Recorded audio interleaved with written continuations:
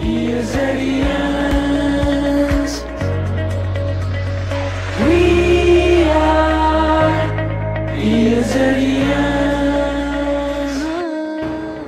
morning students welcome to our channel E A Z academy आज हम बात करने वाले हैं अपने पावर सिस्टम के लेक्चर नंबर फाइव के बारे में। तो हमारा लेक्चर नंबर चार, हमारे चार lecture lecture number one two three four चार हमारे लेक्चर अपलोड हो चुके हैं हमारे यूट्यूब चैनल पे। तो हमने अभी तक बात करी है, हम लेक्चर नंबर फोर जो हमने लास्ट टाइम अपलोड किया था, उस पर हमने बात करी थी रिगार्डिंग कि हमारा जो टैरिफ होता है, उसके न्यूमेरिकल कैसे करके आप प्रिपेयर कर सकते हो, उसके न्यूमेरिकल किस तरीके से आप अप्रोच कर सकते हो, वो हमने अपने लेक्चर नंबर फोर पे डिस्कस किया था। आज हम बात करने वाले हैं कुछ एक इंपॉर्टेंट टॉपिक के बारे में पावर सिस्टम के। आप लोगों ने सबने ये सुना होगा कि जब भी हम एक पावर सिस्टम की बात करते हैं पावर सिस्टम में जब हम जनरेटर जनरेट तो हम करेंगे ही करेंगे उसके बाद जब हम ट्रांसमिट करेंगे अपनी इलेक्ट्रिसिटी को जो भी हमने जनरेट की है तो हमेशा जो ज, आपका ट्रांसमिशन होता है जो भी आपका ट्रांसमिशन होगा वो एक हाई वोल्टेज पे होता है। ये बात आपने बहुत बार सुनी होगी। तो कुछ इस तरीके से आज हम पढ़ने वाले हैं कि क्वेश्चन की फॉर्म पे इसको हम देखेंगे कि in power system in power system why do we prefer why do we prefer a high voltage why do we prefer a high voltage transmission why do we prefer a high voltage transmission एक एक question है कि भाई इन एक power system पे in power system why do we prefer a high voltage transmission अब हम इसका कुछ आंसर देखेंगे देखिए आप लोगों को ये पता होगा in India actually what happened is India में क्या होता है, जो भी आपका जनरेशन होता है, जो भी जनरेशन होगा, वो कितने में होता है? 11 केवी 11 केवी में ही आपका जनरेशन होता है इंडिया में। Maximum generating capacity in India is 11 KV. उसके बाद क्या होता है आपका? मगर आपकी जो वोल्टेज होती है वो 765 केवी तक होती है। आप क्या करते हो? मान लीजिए कि कोई जनरेटर है, ये कोई जनरेटर है, जिसने वोल्टेज को जनरेट किया 11 केवी तक। ये कोई सिंक्रोनस ऑल्टरनेटर होगा या फिर कोई सिंक्रोनस जनरेटर होगा, जिसको हम ऑल्टरनेटर कहते हैं। इसने क्या किया? ग्यारह केवी में कोई वोल्टेज को जनरेट किया। अब आप क्या करते हो? कुछ इस तरीके से हम बनाते हैं। कि हमने यहाँ पे क्या लगाया एक? एक यहाँ पे एक ट्रांसफार्मर होगा। देखो ये ट्रांसफार्मर होगा ट्रांसफार्मर वन ये ट्रांसफार्मर क्या होगा?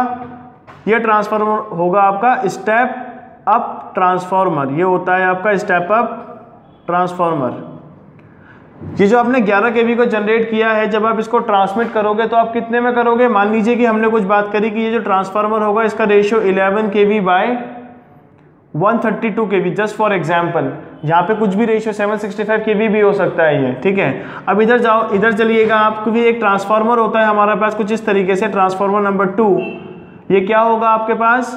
ये कुछ होगा आपके पास 132 केवी टू कुछ 11 के वी इस इस तरीके से। फिर आपके यहाँ वेरियस लोड्स कनेक्टेड होंगे। यहाँ पे वेरियस लोड्स कनेक्टेड होंगे इस तरीके से। बेसिकली हमने यहाँ पे क्या किया है? आपको ये कुछ डायग्राम दिखाया है पावर सिस्टम का कि ये आपका कुछ जनरेटिंग यूनिट है जो 11 केवी में आपकी कुछ वोल्टेज को जनरेट किया है। उसके बाद क्या है आपका ट्रांसफार्मर कनेक्टेड होता है जो उस 11 केवी की वोल्टेज को ट्रांसमिट करने के लिए स्टेप अप करता है। ठीक है? स्टेप अप करेगा एक हाई वोल्टेज पे, फिर हम एक ट्रांसफार्मर लगाएँगे जो क्या करेगा? उस स्टेप अप वोल्टेज को स्टेप डाउन करेगा, क्योंकि हमको ट्रांसफार्मर जो है हम, जब हम ट्रांसमिशन कर रहे हैं, ये वाला रीजन है ट्रांसमिशन का, आप एक हाई वोल्टेज पे ट्रांसमिशन करते हो।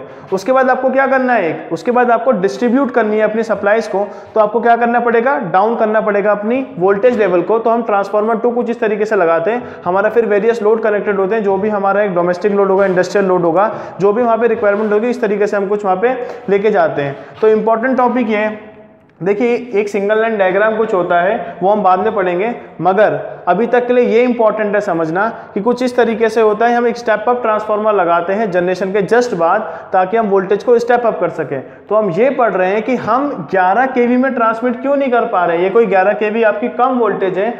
हम हाई वोल्टेज में ही क्यों ट्रांसमिट कर रहे हैं अपनी वोल्टेज को? तो हम ये पढ़ रहे हैं बेसिकली जैसे कि मैंने यहाँ पे लिखा है कि in power system why do we prefer a high voltage transmission तो कुछ इस तरीके से हम इसको देखेंगे। मान लीजिए पहली कंडीशन पहली कंडीशन क्या है हमारे पास?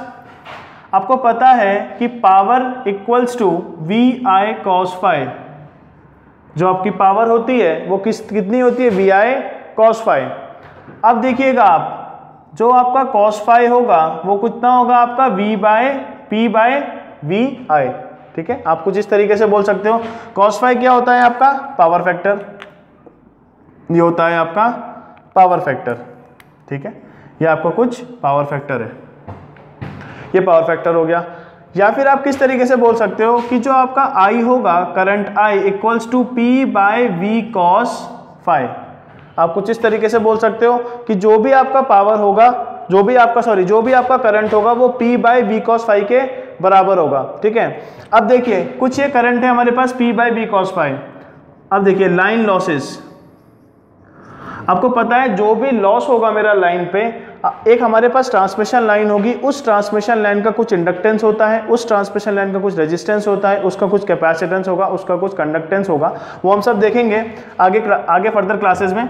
मगर हम ये कह रहे हैं कि भाई जो पावर लॉस होगा हमारा लाइन में, वो कुछ होगा आपका आई स्क्वायर आर की फॉर्म पे। पावर लॉस जो होगा वो आई स्क्वायर आर की फॉर्म पे होगा। तो जो पावर लॉस होगा आई हमारे पास यहाँ से अगर हम लिखेंगे आई को हम क्या लिखेंगे? आई को हम ये लिख सकते हैं P by V cos five का स्क्वेयर इंटू आर आप इसको पी एल को लिख सकते हो ना यहाँ से? ये ये आपका पावर लॉस है पी एल ये आपका क्या है? ये आपकी पावर है, ठीक है? तो आप उसको कुछ इस तरीके से लिख सकते हो। आपको कुछ इसको कुछ इस तरीके से लिख सकते हो कि भाई P L equals to P square upon P square upon V square cos square five into of R into of R देखिए, अगर आपने कुछ इस तरीके से लिखा कि भाई P L equals to K times of one upon V square अगर आपने कुछ इस तरीके से लिखा कि भाई पावर लॉस जो होगा मेरा, वो होगा equal to K times of one upon V square where जहाँ पे आपके पास के कितना है? के आपके पास कितना हो जाएगा? This factor P square into R upon cos square five आप इस इक्वेशन को ये भी लिख सकते हो अब कि P L is directly proportional to one upon V square इसको हम इस तरीके से भी लिख सकते हैं कि जो हमारा पावर लॉस होगा वो कितना होगा आपका? वी इन्वर्सिव प्रोपोर्शनल होगा पावर लॉस पावर लॉस जो होगा इन्वर्सिव प्रोपोर्शनल होगा वन अपॉन वी स्क्वायर के। इसका मतलब क्या है आपका? अगर आपकी ये क्वांटिटी अगर आपका वोल्टेज बढ़ेगा voltage of the transmission line अगर बढ़ेगा तो आपका पावर लॉस जो है line power loss power loss in the line वो क्या होगा आपका? डिक्रीज हो जाएगा। तो आपका लॉसेज घट जाएँगे अगर आपने वोल्टेज अगर आपने वोल्टेज को हाई वोल्टेज पे ट्रांसमिट किया है तो अगर आपने अपनी वोल्टेज को हाई वोल्टेज पे ट्रांसमिट किया है तो क्या होगा आपका पावर लॉस डिक्रीज हो जाएँगे। जैसे कि आपको यहाँ पे दिख रहा है, हमारे पास V जो है, इसका V का स्क्वायर है यहाँ पे। V का स्क्वायर अगर मान लीजिए आपके पास जो वोल्टेज है, अगर वोल्टेज आपके पास 132 केवी होगा तो 132 का स्क्वायर 132 केवी का स्क्वायर जो होगा, वो बहुत एक हाई वोल्टेज होगी। उतनी हाई वोल्टेज पे आपके पावर लॉस की वैल्यू बहुत मिनिमम हो जाएगी। तो ये हमारा एक एडवांटेज है। ये आपका हो गया पहला केस कि हम अपनी पावर सिस्टम पे हाई वोल्टेज को ट्रांसमिट क्यों करते हैं? High voltage in transmission system why do you prefer high voltage in transmission पहली कंडीशन उसकी ये है, पहला केस ये है कि भैया, अगर power V I cos five के बराबर है, ये हमको पता है तो इस हिसाब से हमारा जो पावर लॉस होता है लाइन पे, वो डिक्रीज हो जाता है जैसे जैसे हमारी वोल्टेज लेवल बढ़ता है। दूसरी केस अभी हमको ज़रूरत पड़ेगी इस टॉपिक की। रुक जाइए एक मिनट कुछ इस तरीके से हम देखते हैं। देखिए, यहाँ पे। सेकंड सेकंड पे हम क्या लिख सकते हैं? आपको पता है, R equals to rho L by A जो रेजिस्टेंस होता है, किसी भी कंडक्टर का जो रेजिस्टेंस होगा, कितना होगा? रो एल बाय ए आप ए को लिख सकते हैं, हम rho into L by R ये लिख सकते हैं यहाँ से। एरिया जो होगा, वो रो एल बाय आर के बराबर होगा। आप यहाँ से आर को क्या लिख सकते हो? यहाँ से। इसको अगर आप इक्वेशन नंबर वन मान लीजिए तो हम यहाँ लिख सकते हैं कि from equation first from equation first R equals to R जो होगा वो हो जाएगा आपका P L into P L into यहाँ से हो जाएगा आपका v इंटू कॉस फाइव का square divided by P square ये होगा आपके पास r की वैल्यू ये equation number first equation second equation third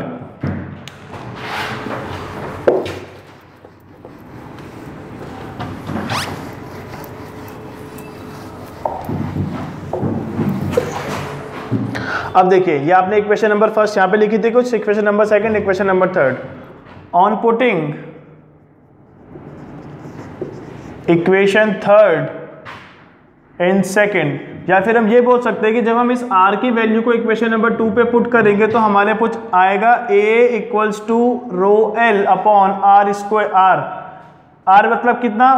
P L upon P square into V square into cos square phi आप इस ए को क्या लिख सकते हो? Rho into L into P L square P square upon P L into V square into cos square phi आप इसको ये भी लिख सकते हो when when rho into L into sorry rho comma L comma P comma P L and cos phi is constant अगर हम ये मान लें कि ये सारे टर्म कांस्टेंट हैं तो आपके पास a जो होगा it is directly proportional to और हम ये लिख सकते हैं कि a equals to K times of one upon V square आप ये लिख सकते हो, ठीक है? या फिर आप इस तरीके से लिख सकते हो कि a is directly proportional to one upon V square तो इससे हमको क्या मिला? इससे हमने क्या देखा? जो हमने सेकंड पॉइंट देखा, उससे हमने क्या देखा? कि जो आपका पास वोल्टेज बढ़ने से क्या होगा? अगर आपके पास जो वोल्टेज है ट्रांसमिशन की, जब जो अभी आप इलेक्ट्रिसिटी को ट्रांसमिट कर रहे हो, उसकी जो वोल्टेज अगर वो बढ़ेगी तो आपका जो एरिया है area cross sectional area of the conductor cross sectional area of the conductor cross sectional area of the conductor वो क्या हो जाएगा? रिड्यूस हो जाएगा. तो साइज़ ऑफ़ द कंडक्टर जो है वो रिड्यूस हो जाएगा. Size of the conductor size of the conductor reduces ये दो, दूसरा पॉइंट सबसे पहला पॉइंट हमने क्या पढ़ा था? सबसे पहला पॉइंट हमने पढ़ा था कि अगर हमारा वोल्टेज लेवल बढ़ेगा वोल्टेज लेवल बढ़ने का मतलब ये कि अगर हम वोल्टेज ट्रांसमिशन जो करेंगे हाई वोल्टेज पे करेंगे तो उसके रिगार्डिंग क्या होगा आपका? Power losses in the line वो कम हो जाएँगे. दूसरा क्या है आपका? कि अगर आपके पास वोल्टेज बढ़ेगा ट्रांसमिशन का तो उसकी वजह से क्या होगा आपका? Area of the cross section जो है वो कम हो जाएगा. या फिर हम ये बोल सकते हैं कि size of the conductor is reduces no point number third तीसरा क्या एडवांटेज है? वो कुछ इस तरीके से है थर्ड पॉइंट मैं कुछ यहाँ पे डायग्राम बना रहा हूँ, कुछ इस तरीके से.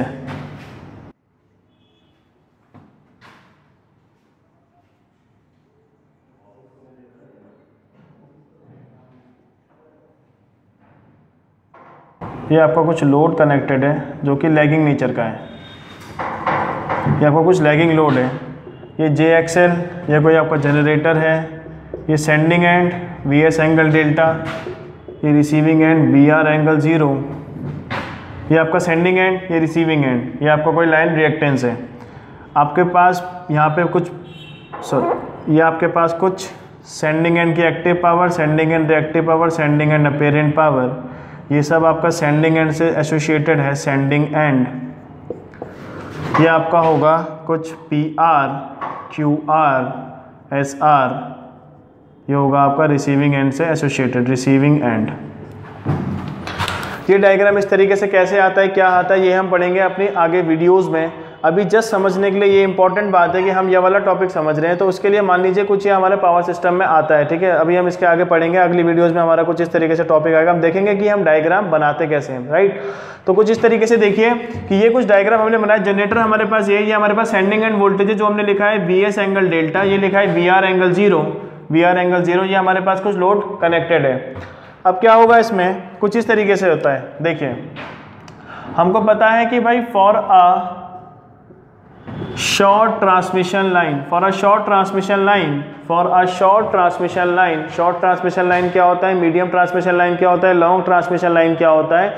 ये सब हम अपनी फर्दर वीडियोस में पढ़ेंगे जो अब आएगी आगे राइट तो उसके हिसाब से अगर हम अभी देखें कि हमको सिर्फ़ एक चीज़ समझने कि हाई वोल्टेज ट्रांसमिशन क्यों होता है, ठीक है? तो उसका एक एडवांटेज यहाँ से भी निकल के आता है। तो वो हम समझने की कोशिश कर रहे हैं। For a short transmission line sending end ये receiving end active power as well as sending in active power equals to Vs Vr upon XL sine delta. This is equal to magnitude of Vs into Vr into sine delta ये कुछ इस तरीके से होता है इसका formula ठीक है? ये कुछ इस तरीके से निकल के आता है। तो इस पर देखिएगा आप, जब हम इसकी बात करेंगे तो हम इसको लिखते हैं कि P R equal to P S equal to P maximum sine delta P maximum sine delta अगर आप इस इक्वेशन को इससे कंपेयर कराओगे तो आपको पता लगेगा कि जो पी मैक्सिमम की वैल्यू है power maximum active power maximum क्या है? V S V R upon X L V S V R upon X L तो कुछ इस तरीके से है कि भाई पी मैक्सिमम जो होगा वो हो जाएगा V S V R upon X L if V S equals to V R send जो हमने वोल्टेज सेंडिंग एंड से सप्लाई करी है, वही हमारा रिसीविंग एंड पे मिल जाए, वही मेरी एक अच्छी ट्रांसमिशन लाइन होगी। तो उस हिसाब से क्या करेंगे हम? पी मैक्सिमम जो होगा, वो कितना हो जाएगा? अगर आप इस इस कंडीशन को यहाँ पे पुट करोगे तो कितना हो जाएगा? V S square upon X L या फिर हम कह सकते हैं V R square upon X L V R square upon X L अगर आप इस पैरामीटर को देखोगे, अगर आप इस इक्वेशन को देखोगे अगर आपके पास वोल्टेज बढ़ने से सेंडिंग एंड वोल्टेज बढ़ने से, क्या हो रहा है आपके पास? Power maximum maximum power capability of the transmission line बढ़ रही है। वोल्टेज के बढ़ने से मैक्सिमम पावर कैपेबिलिटी जो है आपकी maximum power transfer capability of the transmission line बढ़ रही है। तो ये है हमारा तीसरा एडवांटेज तो जब हम बात करते हैं अपने हाई वोल्टेज की, हम हाई वोल्टेज क्यों प्रेफर करते हैं ट्रांसमिशन लाइन तो उसके कुछ हमने एडवांटेज पढ़े हैं। वो कौन कौन से एडवांटेज थे? सबसे पहले हमने पढ़ा, सबसे पहले line losses gets reduced second हमने पढ़ा size of the conductor size of the conductor is reduces third हमने क्या पढ़ा? थर्ड आपने पढ़ा power transfer capability of the transmission line gets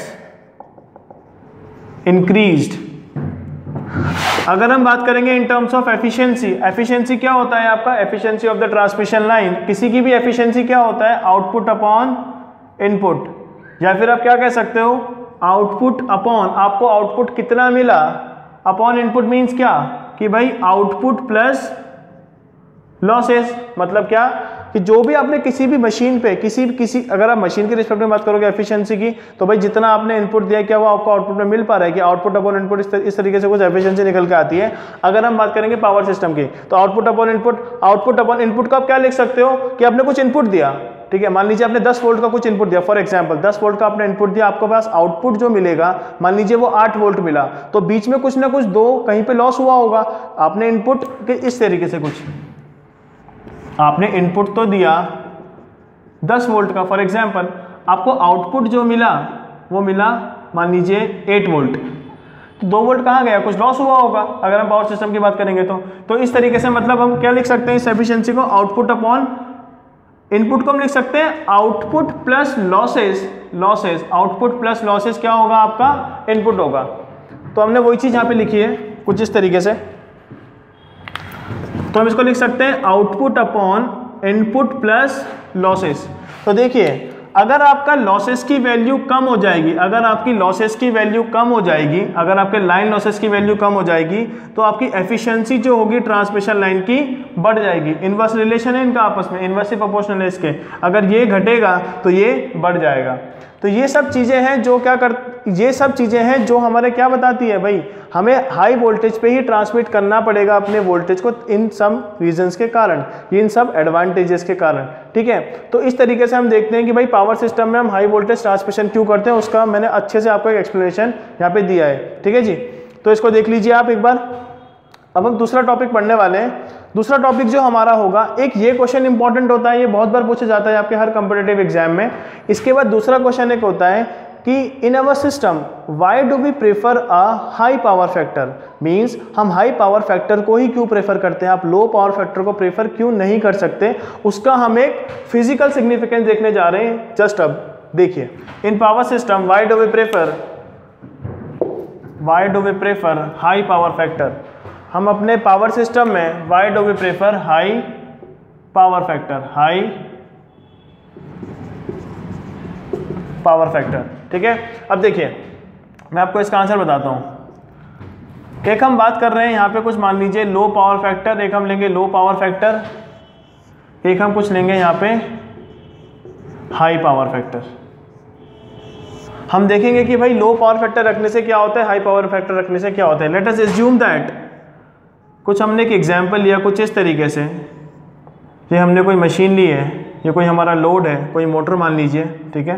ये कोई हमारा लोड है, जो पावर ले रहा है आपकी 220 twenty watt at an power factor of 0.5 ये कोई हमारा लो पावर फैक्टर है 0.5 ये आपने कुछ यहाँ पे इनपुट दिया, ये कोई रजिस्टर आर है, यहाँ से कुछ करंट I1 फ्लो हुआ, ये आपने यहाँ पे जो वोल्टेज दिया है, ये आपने दिया है 230 वोल्ट ये कोई जनरेटर होगा आपका। जिसने कुछ यहाँ पे इनपुट दिया। फिर कोई एक सोर्स मान लीजिए, ये कोई सोर्स है, ये कोई लोड है आपका, और उस लोड ने क्या डिमांड कर रखा है आपका कि इतनी पावर उसको कंज्यूम करेगा वो, और जो आपका पावर फैक्टर है वो 0.5 के इक्वल है, ठीक है? लो पावर फैक्टर रीजन पे। अब क्या होगा? देखिए, अगर आप यहाँ पे बात करोगे कुछ इस तरीके से कि P equals to V I cos phi in AC system हमको ये पता है कि जो पी होता है, आपका कितना होता है? आपका वी आई कॉस फाइव अगर आप इसके करस्पॉन्डिंग बात करोगे तो यहाँ पे लिख दीजिए P equals to V into I one cos phi क्योंकि हमारे पास आई वन क्या है? आई वन हमारे पास ये करंट है। तो आई वन जो है, वो क्या लिखोगे आप? P by V cos phi हम ऐसा लिख सकते हैं? P by V cos phi right अब देखिए आई वन हमने लिखा P by V cos phi यहाँ से हम क्या लिख सकते हैं? P की वैल्यू हमको पता है कितनी? 220 watt 220 watt upon V V हमारे पास है 230 230 वोल्ट इनटू ये 30 लिखा है। 230 वोल्ट इनटू कॉस फाइव कितना है आपके पास? 0.5 ये कुछ कैलकुलेट करके आ रहा होगा। 220 divided by 230 thirty into zero point five ये आएगा 1.91 पॉइंट एम्पियर ये आ रहा है करंट 1.91 पॉइंट ये कोई आपके पास 1.91 क्या है? आपके पास कुछ करंट की वैल्यू है, ठीक है? अब देखिए, आपको पता है कि जो आपके पास ये एस कॉम्प्लेक्स पावर होती है S equal to V into I conjugate होता है, हम बात कर रहे हैं मैग्नीट्यूड ऑफ़ एस की वी इंटू आई वन आपको पता है वोल्टेज की वैल्यू कितनी है? 230 थर्टी इंटू आई वन कितना करंट निकाला हमने अभी? 1.91 पॉइंट एम्पियर ये कितना हो जाएगा आपका? अगर आप इसको मल्टीप्लाई करोगे 230 से तो आपके पास आएगा 440 ये आपके पास आएगा 440 वोल्ट एम्पियर कितना है ये आपके पास? 440 वोल्ट एम्पियर कुछ इस तरीके से।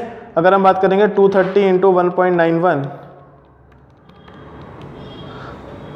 ये आएगा 439.3 अप्रॉक्स और हम ये कह सकते हैं, इसको बोल दीजिए कुछ 440 volt ampere approximately 440 volt ampere के ये इक्वल आ रहा है। ठीक है, हमने अभी तक क्या निकाला? अभी तक हमने I1 करंट की बात करी है, अभी तक हमने क्या बात करी है? S की बात करी है। अब हम बात करने वाले हैं रिएक्टिव पावर की। तो कुछ रिएक्टिव पावर का फॉर्मूला आपको पता होगा। रिएक्टिव पावर का फॉर्मूला किस तरीके से हमने ये लिखा है, देखिए, हम यहाँ पे लिखते हैं। Q equals to P tan phi या बोल सकते हो कि टेन फाइव इक्वल्स टू कितना होता है? Q by P tan phi equals to Q by P ये हम ऐसा क्यों लिख रहे हैं? ये कुछ हम इस तरीके से लिख रहे हैं, देखिए। ये आपके पास कुछ इस तरीके से P होगा, ये Q होगा, ये आपके पास ऐसे ये मान लीजिए कुछ फाइव है। अगर आप यहाँ पे टेन फाइव की वैल्यू लिखोगे टेन फाइव आपको पता है कितना होता है आपके पास? Base upon sorry tan phi की वैल्यू कितनी हो जाएगी आपके पास? परपेंडिकुलर अपॉन बेस परपेंडिकुलर कितना है आपके पास? Q अपॉन बेस की वैल्यू है P. तो टेन फाइव को आप क्या बोल सकते हैं? Q बाई पी वो हमने यहाँ से लिखा है। ठीक है? इसको हम बोलते हैं पावर ट्रायंगल इसको हम बोलते हैं पावर ट्रायंगल तो कुछ हमने यहाँ से क्या लिखा है? ये वैल्यू लिखी है टेन फाइव की। तो आप Q की वैल्यू को क्या लिख सकते हो? P इंटू टेन फाइव तो Q इक्वल्स टू P कितना है? 220 watt into tan of phi cos phi आपके पास 0.5 है तो आप फाइव को लिख सकते हो कॉस इनवर्स ऑफ़ 0.5 तो Q equals to 220 twenty into tan of cos inverse of 0.5 ये कितना आएगा आपके पास? ये आपके पास आएगा cos inverse of 0.5 into, sorry, cos inverse of 0.5 381.05 VAR 381.05 VAR ये आपके पास कुछ रिएक्टिव पावर आई। ठीक है, अभी तक हमने निकाला है अपना करंट उसके बाद हमने लिखा है रिएक्टिव पावर उसके बाद हमने क्या निकाला है आपका? एस अब हम बात करेंगे पावर लॉस आपको पता है पावर लॉस जो होता है आई स्क्वायर आर होता है तो हम करंट आई वन की बात कर रहे हैं, अपने लो पावर फैक्टर रीजन पे तो हमने लिख दिया I one square into R तो आपके पास पावर लॉस हो जाएगा। आपके पास आई वन की वैल्यू कितनी है? One point nine one square into R तो आपके पास पी एल आएगा।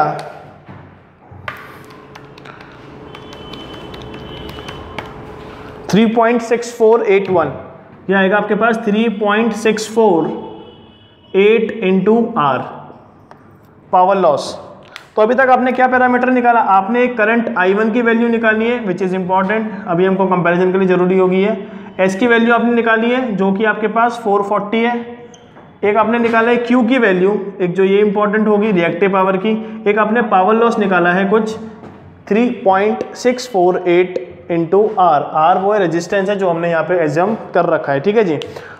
अब देखिएगा हम हम बात करेंगे हाई पावर फैक्टर रीजन की। हाई पावर फैक्टर रीजन की हम बात करेंगे यहाँ पे। High power factor high power factor हम सेम डायग्राम को इधर ड्रॉ कर रहे हैं। ये कुछ रजिस्टर आर होगा। ये हमारे पास कुछ मशीन है, कुछ लोड है। ये हमारे पास कुछ, ये लैगिंग लोड होगा आपके पास। इसकी सेम पावर रेटिंग रखेंगे 220 वॉट मगर हम यहाँ पे जो पावर फैक्टर रख रहे हैं पावर फैक्टर यहाँ पे हमने 0.5 लिया था लो पावर फैक्टर वहाँ पे हम हाई लेंगे 0.9 ये register R value this is I two मान लीजिए इस कंडीशन में अब आपके पास 230 वोल्ट हमने सेम इनपुट माना सेम वोल्टेज माना सेम पावर माना, जो लोड कनेक्टेड है वहाँ पे ये भी लोड था हमारा लैगिंग लोड उस हिसाब से यहाँ पे हमारा जो पावर फैक्टर हमने जो एज्यूम किया था, हमने लो पावर फैक्टर रीजन पे बात करी तो 0.5 पॉइंट यहाँ पे हम बात कर रहे हैं हाई पावर फैक्टर हमने मान लिया 0.9 तो उसके करस्पॉन्डिंग क्या क्या होगा? देखिए, हम I1 को लिख सकते हैं I1 को P by V cos phi P कितना है हमारे पास? 220 अपॉन वी हमारे पास हो जाएगा 230 thirty into cos phi zero ये हमारे पास हो जाएगा 230 divided sorry 220 divided by 230 thirty into zero point nine one point zero six two ये करंट जो होगा, ये आएगा 1.062 एम्पियर और हम अगर हमने यहाँ पे दो डिजिट तक लिखा है तो हम यहाँ पे भी दो डिजिट तक लिख लेते हैं। 1.06 एम्पियर करंट I1 की वैल्यू हमने निकाल दी। करंट I1 की वैल्यू हमने निकाल दी 1.06 अब हम दूसरी कंडीशन पे बात करेंगे। S equals to V into I two sorry यहाँ पे आई टू लिखेंगे I two equals to V कितना है आपके पास? 230 thirty volt into current I two की जो वैल्यू हमने निकाली अभी 1.06 point zero six equals to ये कितना आएगा आपके पास? ये होगा 230 thirty into one point zero six two forty three point eight ये होगा 243.8 वोल्ट एम्पियर ये आपके पास एस की वैल्यू आ गई 243.8 वोल्ट एम्पियर अब हम बात करेंगे अगेन Q की। तो आप Q को लिख सकते हो। Q equals to reactive power Q की हम बात कर रहे हैं P टेन फाइव ये फॉर्मूला बताया था अभी आपको। और P की वैल्यू है आपके पास 220 twenty into ten cos inverse of 0.9 ये आपके पास आएगा। कॉस इनवर्स ऑफ़ 0.9 10 इंटू 106.55 ये आपके पास आएगा 106.55 VAR ये आपके पास रिएक्टिव पावर है कुछ इस तरीके से।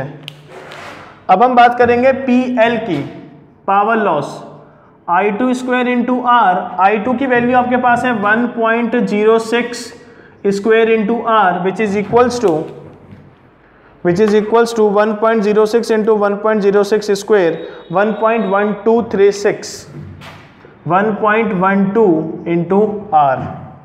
Current की वैल्यू कितनी होगी आपकी? वन पॉइंट पावर लॉस की वैल्यू कितनी होगी? One point one two into R ये आपके पास कुछ पावर लॉस है।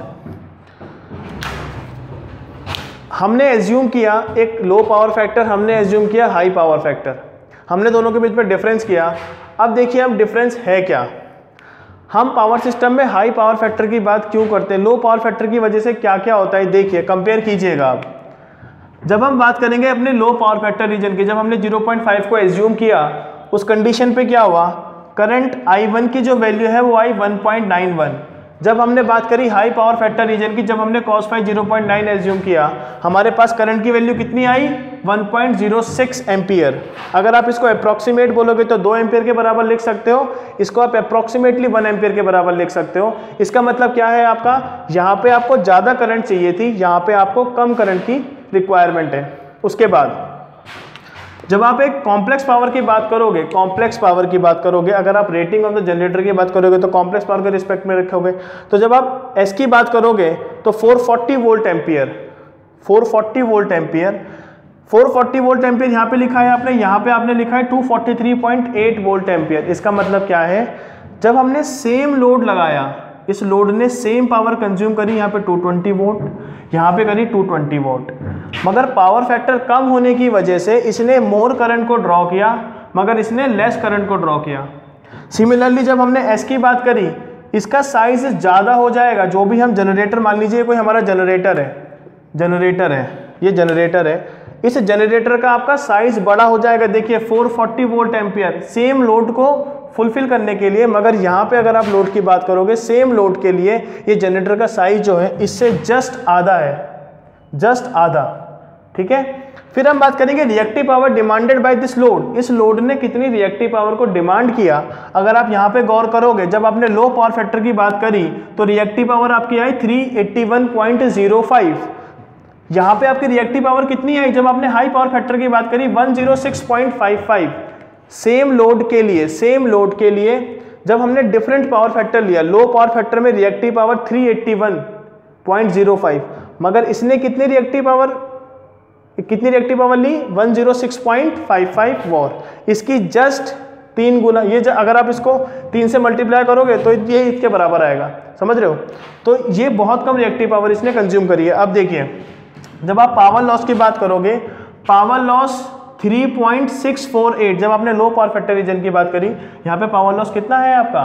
1.12 टाइम्स ऑफ़ आर मतलब पावर लॉस आपका ड्रास्टिकली रिड्यूस हो गया।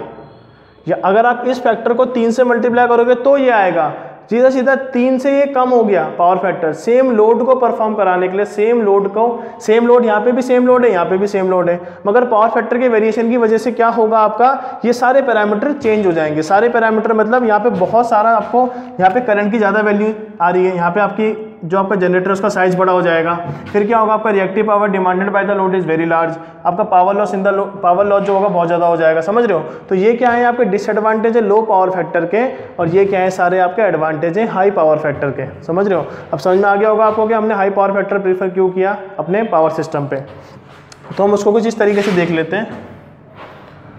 हम इसको इस तरीके से लिख सकते हैं। ये सब जो मैंने आपको बताए हैं एडवांटेज हैं किसके? High power factor low power factor के। आप लिख सकते हो। Current drawn by the load is जो लोड को करंट चाहिए, वो कम चाहिए। Advantage of high power factor advantages of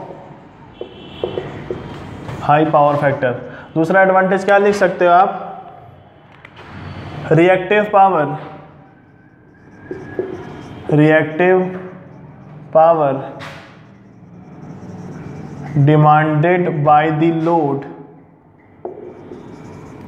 is less और क्या लिख सकते हो आप? Power loss is less power loss आपका कम हो जाता है। पावर लॉस आपका कम हो जाता है, उसके बाद आप क्या लिख सकते हो? Power loss is less. Efficiency is improves. High power factor में आपकी एफिशिएंसी इंप्रूव हो जाती है। एफिशिएंसी मैंने आपको बताया था, output upon input plus losses. अगर मैं हाई पावर फैक्टर की बात करूँ, at high power factor as compare to low power factor high power factor में आपके लॉसेस की वैल्यू कम हो गई थी। As compare to this low power factor जिसकी वजह से आपकी एफिशिएंसी की वैल्यू बढ़ जाएगी। उसके बाद अगर हम बात करेंगे आपकी voltage regulation voltage regulation of the line of the voltage regulation of the line is improve voltage regulation of the line is improve जब हम हाई पावर फैक्टर की बात करेंगे, मैं लिख रहा हूँ advantage of high power factor size of the generator is less size of the generator same operation को परफॉर्म कराने के लिए सेम लोड को सारी रिक्वायरमेंट फुलफिल कराने के लिए आपको जो साइज़ होगा जनरेटर का लो पावर फैक्टर में तो 440 वोल्ट एम्पियर के बराबर आ रहा था। मगर यहाँ पे कितना आया आपका? 243.8 रेटिंग से डिसाइड होता है उसका साइज़ ठीक है? तो 440 फोर्टी यहाँ लो पे था हाई पे कितना है? 240 जस्ट हाफ़ हो जाएगा। तो size of the generator is less जब हम बात करेंगे अपने हाई पावर फैक्टर की। तो ये सारे क्या होता है आपका?